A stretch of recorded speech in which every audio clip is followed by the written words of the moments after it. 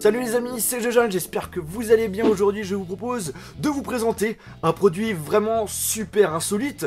C'est une toute petite enceinte sans fil. Donc ça se connecte en Bluetooth avec votre smartphone et ce que je peux vous dire c'est qu'après meilleure vue c'est vraiment minuscule. Donc ce que je vous propose avant de le tester ben, c'est de l'ouvrir. Donc c'est de la marque Keydox. Je l'ai trouvé sur, euh, sur le net et du coup ben, j'ai décidé de l'acheter parce que je trouvais qu'il était tout petit. En plus de cela il coûte pas extrêmement cher puisque ça coûte, ben, si j'arrive à l'ouvrir, puisque ça coûte 18 euros. Voilà c'est bon, c'est ouvert.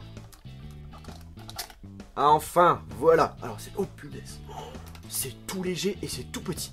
Regardez-moi ce machin. Franchement, c'est super petit. On va voir, euh, ça mesure combien? Ça mesure même pas 4 cm. C'est impressionnant. Franchement, au niveau de la qualité, au niveau de la finition, c'est vraiment pas mal du tout. C'est pas du plastique, hein, c'est de l'aluminium. On est sur une couleur bleue, c'est assez joli. Et franchement, c'est super léger. C'est vraiment impressionnant. Et également, bien évidemment, super petit. Donc au niveau de la boîte, qu'est-ce qu'on a d'autre euh, On a un petit câble micro USB vers USB pour recharger euh, cette enceinte. Et puis c'est quoi ça? Ah Et là, une petite dragonne. En fait, c'est une dragonne un petit peu spéciale qui se connecte au niveau de la prise jack de son téléphone. Euh, bon, ça fait un petit peu con si vous avez la prise jack au-dessus du téléphone. Je pense que je vais pas du tout l'utiliser. Donc on a un petit bouton euh, en dessous qui permet d'allumer l'appareil. Donc on va l'allumer. Avec une musique... Euh, ok, tu m'as coupé, c'est gentil de ta part. Bon, une musique assez sympathique lors du démarrage de cette petite enceinte. Là, on va activer le Bluetooth et on va se connecter avec. Ce qui est important de savoir, c'est que par rapport à ce que j'ai pu voir au niveau des avis sur cette enceinte, déjà, bah, c'est un très bon appareil, euh, mais ça ne marche que pour les smartphones. Alors, Bluetooth, euh, où tu es? Ah, BM3. Est-ce que c'est ça? Ok, thank you very much. Bon bah c'est connecté comme vous avez pu le voir et ce que je vous propose bah c'est de tester cette petite enceinte.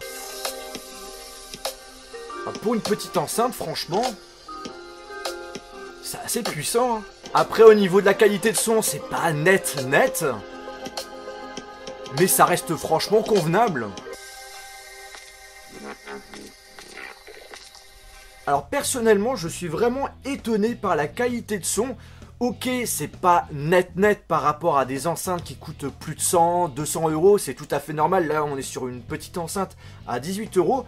On est vraiment sur un son qui est quand même assez fort. Euh, pour un petit truc comme ça, pour un petit gabarit, euh, je suis vraiment étonné. En ce qui concerne l'autonomie, sachez que vous pouvez utiliser cette enceinte pendant 6 heures. Et en plus de cela, on a une fonctionnalité à ce qui paraît assez sympathique. On va voir si ça marche bien. En fait, en dessous de l'appareil, hein, le bouton qui fait également office de bouton power, il fait aussi office de bouton euh, selfie pour faire des photos. Donc on va voir ça. Attention. Et bah ouais.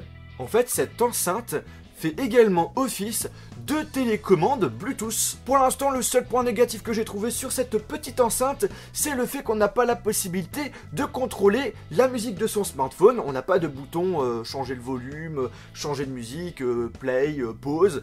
c'est pas possible. Eh bien écoutez les amis, j'espère que cette vidéo sur cette toute petite enceinte vous a plu. Si c'est le cas, n'oubliez pas de mettre un pouce bleu. Franchement, c'est la première fois que je vois une enceinte Bluetooth aussi petite de toute ma vie. Si c'est également le cas pour vous, n'hésitez pas à dire ça via les commentaires de cette vidéo. Et sur ce, on se retrouve dans une prochaine vidéo. Allez, salut